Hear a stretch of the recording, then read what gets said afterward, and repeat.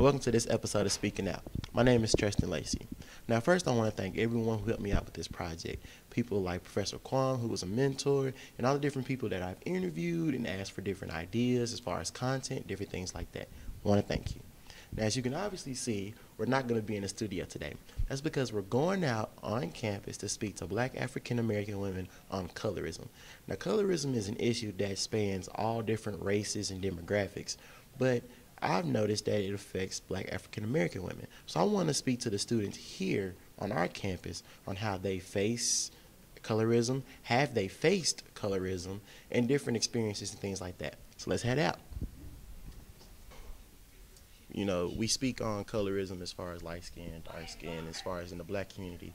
Now, with that, do you ever find issues like you say, like we were children? Because I know for me, my personal standpoint, when I went to school, especially elementary school, you know, being light skinned, we never said we were light skinned. It was always we're mixed. Mm-hmm. That was the thing for us. We always said, "Oh yeah, we're mixed. We're mixed," and we never knew what that meant. Yeah. Especially me, I never knew what mixed was until I got to like middle school, I think, and I mean like higher end, about to go into high school type. So, was that a common thing for you all as well? I think it was hard for me to say I was mixed because mm-hmm. I was mm-hmm. a darker skinned uh, female or person in general. Mm-hmm. People didn't believe that, like, oh, child, you're black. That's it. You know, that's right. that's it. But no, I mean, I'm a lot more Latin than most think. I'm a lot more indigenous than most think. Mm-hmm. Like, I think that was more of the thing. I was never really able to say, oh, I am mixed, but my sister could say it. Mm-hmm. So when you found yourself, it's almost like defending mm-hmm. yourself as far as saying, yes, you're mixed. What were some of the common words that were maybe been exchanged when you saying, yes, I'm actually mixed with Latino, Latino, I come from a Latin heritage? Mm-hmm. Um, that it was a lie, or the only thing you could be was Mexican. Um, or maybe Puerto Rican, like on the far dark. Where they could identify yeah. darker skin. Yeah, because you know, darker skin Latinos are Puerto Rican, Mexican, and uh, Panamanian, Panamanian and Cuban, mm-hmm. or Dominican. And so that was that was it. Like if you didn't say, my family is literally from Spain, like, right. like. Uh, someone that you want to be with in a relationship, do you find colorism kind of takes its stance in there as well, or with me or like with other people? Well, from what we see in society, what we see on social media, different things like that. Um, I you definitely see it. Um, I kind of feel like this whole thing with like you know with dark skin, it's kind of you know people are kind of becoming a lot more socially acceptable of it, but at times I wonder like is this just the trend? Is this the thing that's just in now? Do y'all really think that this you know? But other than that, then you know, I feel like it is. It's definitely still a problem. We still have a problem. Um, a lot of dudes, uh, men aren't uh, accepting of dark skinned women. I mean, it's mostly black men. Um, you hear, you see a lot of that on Twitter. You know, I wouldn't date a black, a dark skinned girl, um, and that's I know that that could really hurt. You know, someone if they see, you know, you don't want to date me because of my my skin's darker. You know, I could be a really great girl, but you won't date me because my skin darker.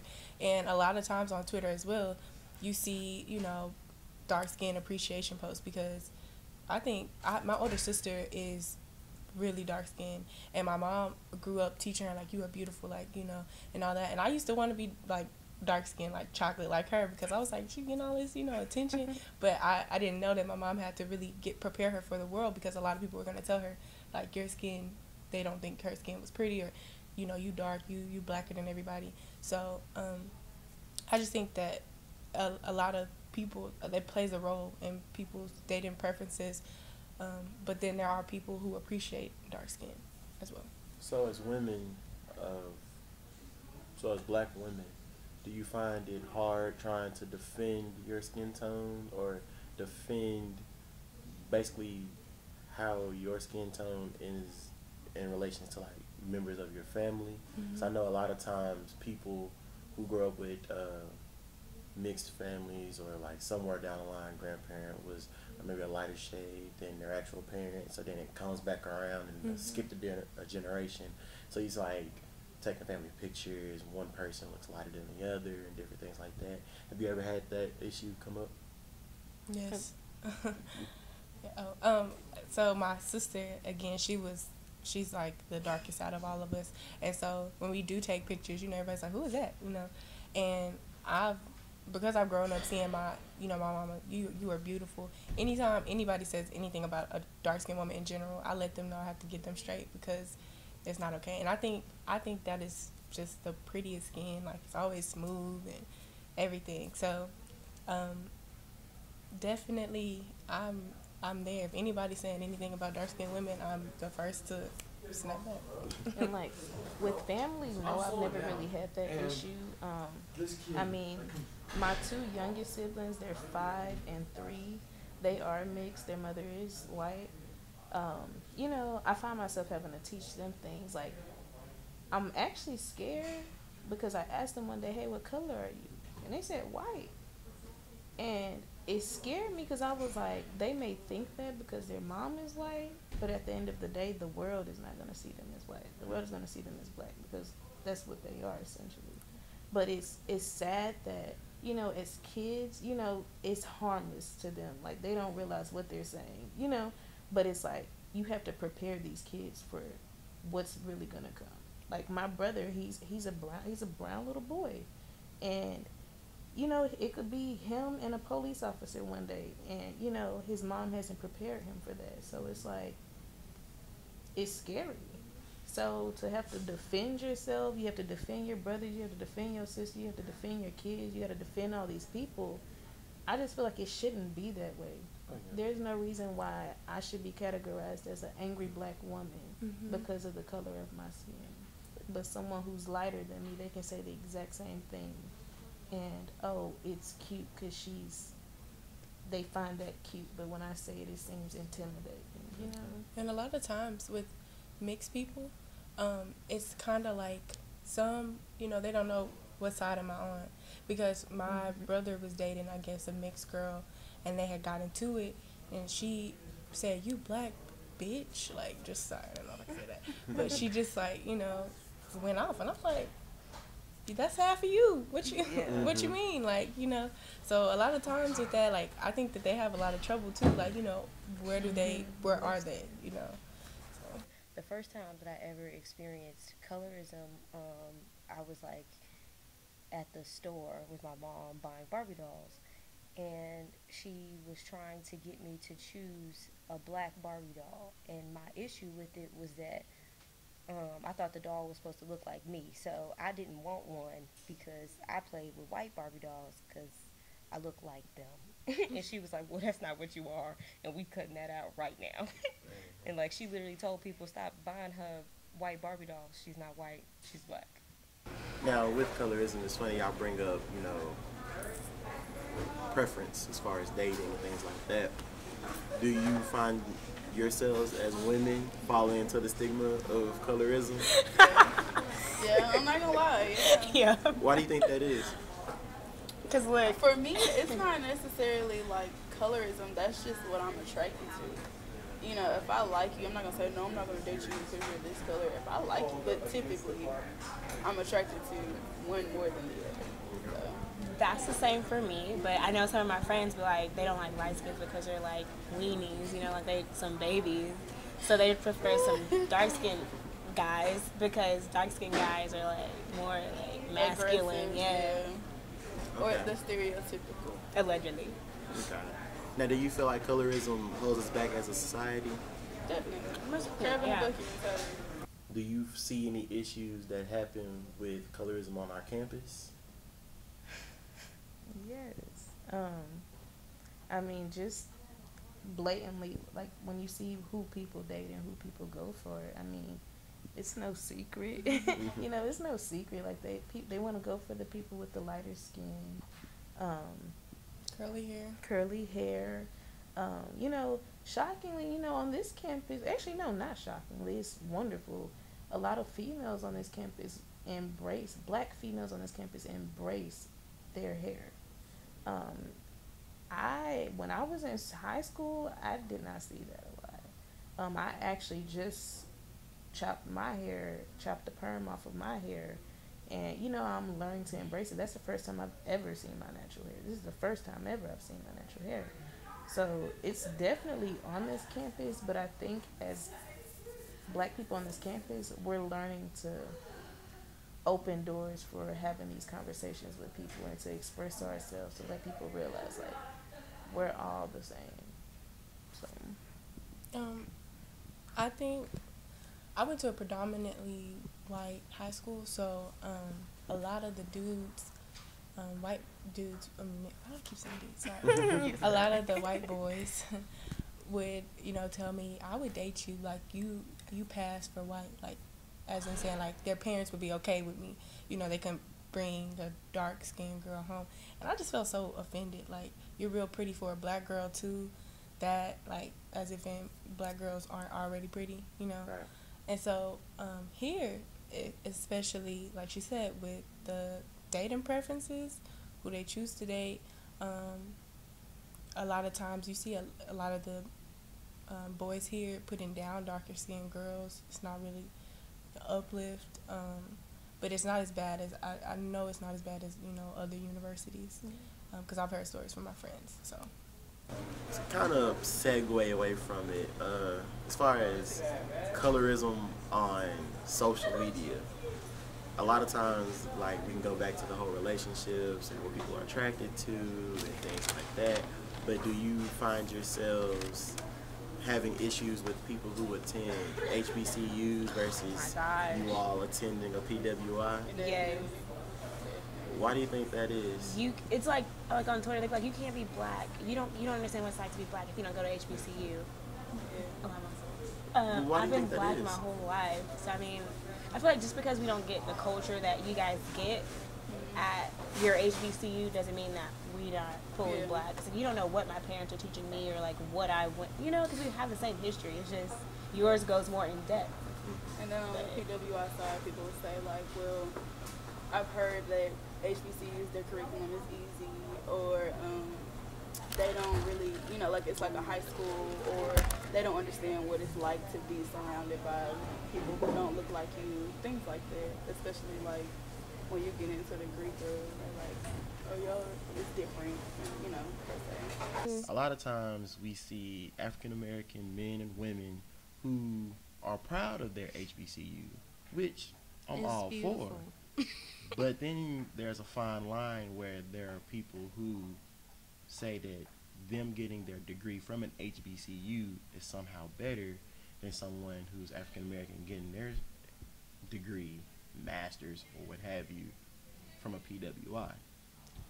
What is so funny is that they think that, but it's only coming from from them. Mm-hmm. Because when I looked into going to law school, um, and I was having a discussion with my family, who is about you know upper middle class black family or whatever, and I was telling them, you know, I really want to go to Howard. That's the law school that I want to go to. I didn't get my chance to go to Howard for undergrad. I got the grades now. I can go to Howard. And they were like, um, you know, have you talked to other lawyers and whatnot who are practicing and you know know more about law school?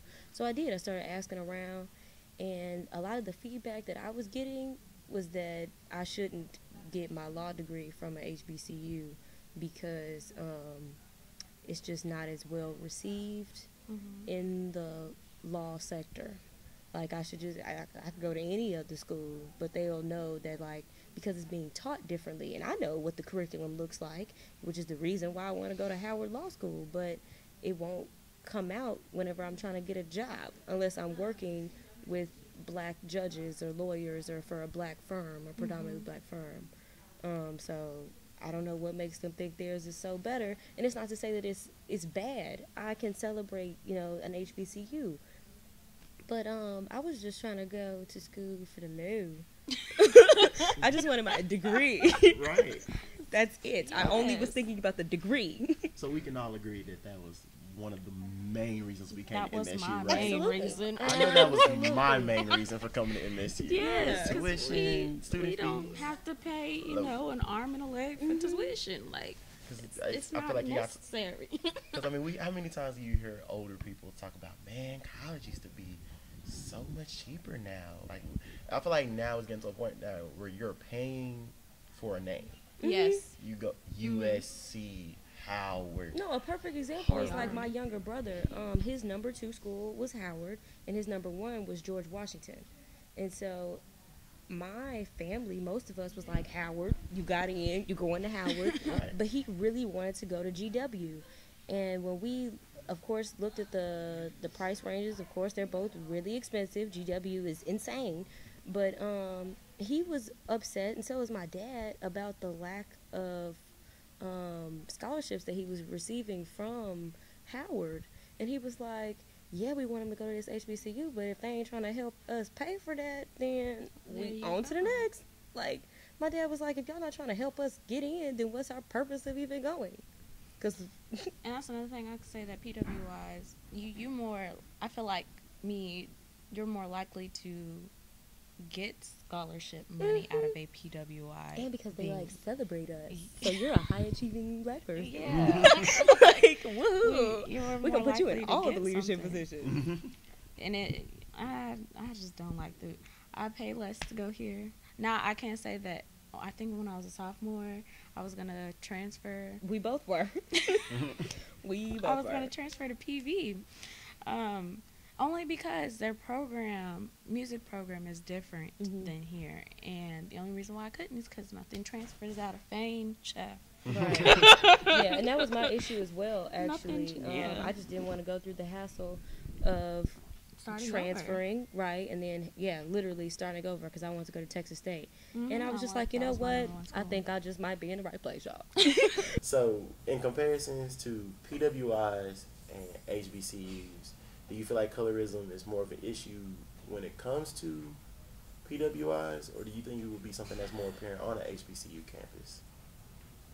I think because I think it would be more HBCU, and I, I only say this because when I was looking up the whole colorism, like from the root of the problem, um, I read that it was like you know Jim Crow laws wanted um, blacks to argue within themselves. If they could think that oh I'm better better than you because you know I'm lighter, you know then that could probably start something between them two. And that's what we I mean a lot of people have been we've been doing this back and forth for years. Like like if you're lighter, you know you you think you better.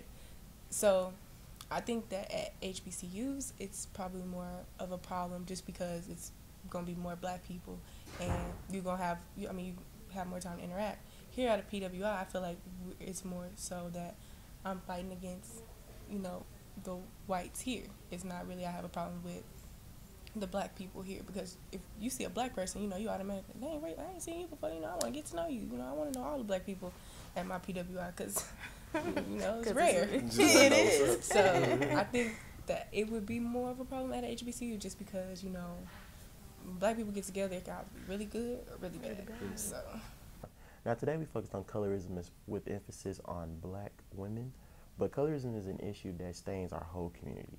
It stains the black community within itself, but it also spans outward to Latinos, European countries, Asian countries, and each four corners of the globe. So think about that the next time you use certain words, terminologies, and different things like that when identifying someone with the color of their skin. Now, also remember that you can follow me at T R E T H E M U S C I A N for more content and updates on my next episode. For speaking out, I'm Treston Lacy.